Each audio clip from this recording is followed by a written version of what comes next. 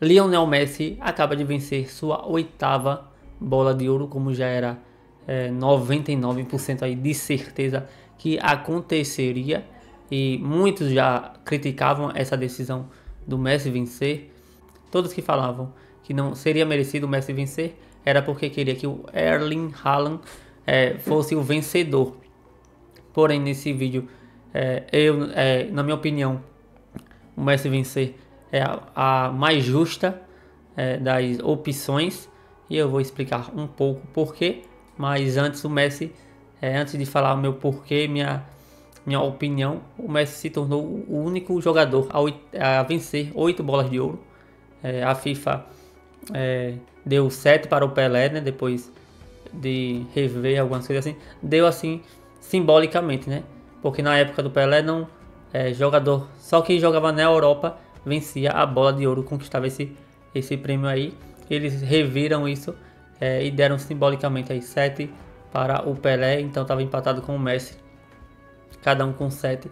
E o Messi agora chega a 8 bolas de ouro, se isolando. E na minha visão, eu acho quase impossível o Messi ser alcançado e mais ainda ultrapassado. E é, nesse vídeo também falarei aí os jogos de cada é, dos, dos três que poderiam ser o vencedor, né? Um vencedor e dois ali que são Mbappé e Haaland, é, que são os três que fizeram boas, bons jogos, principalmente na Copa, o Messi e o Mbappé e o é, Haaland na Inglaterra reinou muito na Premier League, Copa da Inglaterra, é, enfim, Champions League principalmente, que é o grande prêmio, a grande competição da Europa. É, começando com o Messi, 56 jogos. É, eu falando, na verdade, os três de uma vez, os jogos, os gols, para ficar bem mais é, certinho aqui. O Messi, 56 jogos, Mbappé, 56, Haaland, 57. Lembrando que é a temporada 22-23 que conta para a bola de ouro, né? A maior premiação é, de jogadores, né? Individual de jogadores. O Messi fez 41 gols até aqui, Mbappé 54 e Haaland 56 assistências, Messi 26, é, Mbappé 12 e Haaland 10. Agora vamos aos prêmios ali, né? É, o Messi ganhou a Ligue 1, ganhou a Supercopa da França e ganhou nada mais, nada menos que a Copa do Mundo fazendo gols é, em quase todos os jogos, só não fez contra a Polônia. É, nas oitavas fez, nas quartas fez, na semi fez, na final fez duas vezes. Mbappé ganhou a Ligue 1, fazendo três gols na final da Copa do Mundo, né? Também foi um grande feito, foi o vice-campeão para Lionel Messi. Erling Haaland ganhou a Premier League, a FA Cup e a UEFA Champions League. Agora o prêmio individual, Lionel Messi ganhou o melhor jogador da Copa do Mundo. Muito é, justo. Quem não é fã do Messi sempre vai dizer que foi roubado, mas o que o Messi fez na Copa foi surreal. Foi o vice-artilheiro, é, ganhou o FIFA The Best, foi eleito o melhor jogador do mundo pela IFFHS é, e ganhou o prêmio Laureus, é, dos, é, que é de todos os esportes, né? O Messi é o único jogador do, de futebol da história a vencer e venceu duas vezes. É, já o Kylian Mbappé venceu o artilheiro da Copa do Mundo, ficou em segundo como melhor jogador da Copa, foi o melhor do, da Ligue 1 é, e ganhou é, e foi artilheiro da League One. Já o Erling Haaland foi o artilheiro da Premier League, foi eleito o melhor jogador da Premier League, é, o melhor jogador da UEFA Champions League e venceu o prêmio UEFA é, Best Player, né? O melhor jogador da UEFA, o Messi merecido porque a Copa do Mundo para mim é diferente de qualquer outra competição, é de 4 em 4 anos é, por seleções. Obviamente, é, o Haaland joga na Noruega. Muito difícil até de ir para uma Copa do Mundo. Mas a Copa do Mundo é uma coisa surreal. E o que o Messi jogou é, nessa Copa do Mundo com 36 é, anos foi coisa. O que o Messi jogou nessa Copa foi surreal. E fez gols decisivos, né? Perdeu para a Arábia Saudita fazendo gol. Aí contra o México fez o gol que abriu. O jogo estava muito fechado ali. Fez 1x0. Depois o Enzo fez 2 a 0 contra a Polônia, é, perdeu o pênalti, mas gente, ele jogou muito bem, foi o melhor da partida. A Argentina venceu por 2 a 0.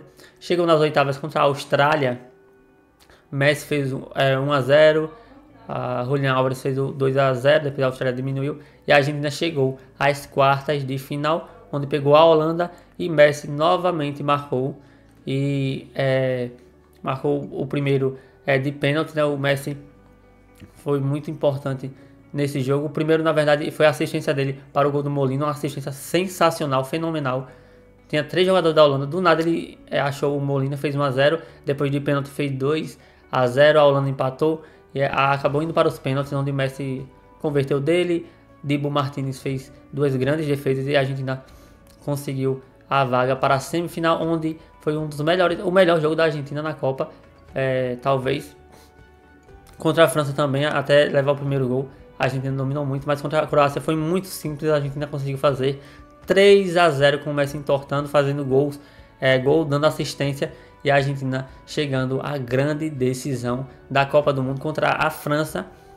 E contra a, né, a França, Messi fez o primeiro de pênalti, o segundo começou com um, um, lindo lance dele, recebeu a bola, dominou com uma, dominou com a direita, tocou com a esquerda e quando é, e surgiu o lançamento para o segundo gol do Di Maria. Depois a França empatou. Na prorrogação o Messi fez mais um. E 3 a 2 depois todos sabem, né? O Mbappé fez o 3 a 3 três gols do Mbappé. E nos pênaltis o Messi converteu. E a Argentina campeã da Copa do Mundo com o Messi arrebentando na Copa. O Mbappé jogou muito bem na Copa. É, contra a Inglaterra foi um jogo que ele ficou bem abaixo. Porém na final também muito abaixo até fazer o primeiro. Depois ele botou um, é, fogo na partida. Mas para mim a disputa é entre Messi e Haaland mesmo. Por tudo que fizeram. O Haaland foi muito importante na, na Champions League, fazendo gols em praticamente todos os jogos. Porém, na, nas semifinais contra o Real Madrid não fez nenhum, até me surpreendeu. E na final contra a Inter, mas obviamente é uma final, é difícil até. É um jogador se mostrar tanto como é uma final fechada, né? Tanto que foi bem, foi 1 a 0 gol do Rodri ali. Então, é, foi, dá, dá para aceitar o Haaland não ter feito, não ter feito o gol. É, a marcação dele foi muito pesada, mas na semi eu esperava que ele pelo menos fizesse um gol, tanto ou na ida pelo menos ou na volta, mas é, sem dúvida nenhuma foi fez história o Haaland, muitos gols como eu falei, né? 57 jogos ele fez até aqui 56 gols, que é uma coisa, uma coisa surreal. E o Haaland sem dúvida nenhuma é, tá na história do City, é um jogador que faz muito, muitos gols sem dúvida nenhuma, ele merece sim ficar na segunda posição. O Mbappé jogou muito na Copa, mas pelo PSG, o PSG fez uma temporada muito fraca. É, mas enfim, o Haaland fazendo história, foi, foi, foi o artilheiro da Champions com 12 gols. E sem dúvida nenhuma, o melhor jogador da UEFA, ganhou da UEFA ali. Foi uma boa para ele. Eu acho que para as próximas temporadas do Haaland é um dos grandes favoritos a vencer bola de ouro, prêmio FIFA The Best. Porém, para essa não tem como Lionel Messi não vencer, não tem como é, alguém dizer que não foi merecido, que foi roubado. É, eu sei que os fãs do Cristiano Ronaldo falam muito isso e vão falar, mas é, pelos dados é surreal que o Messi fez. Porém, o Messi ainda venceu a League Cup, né?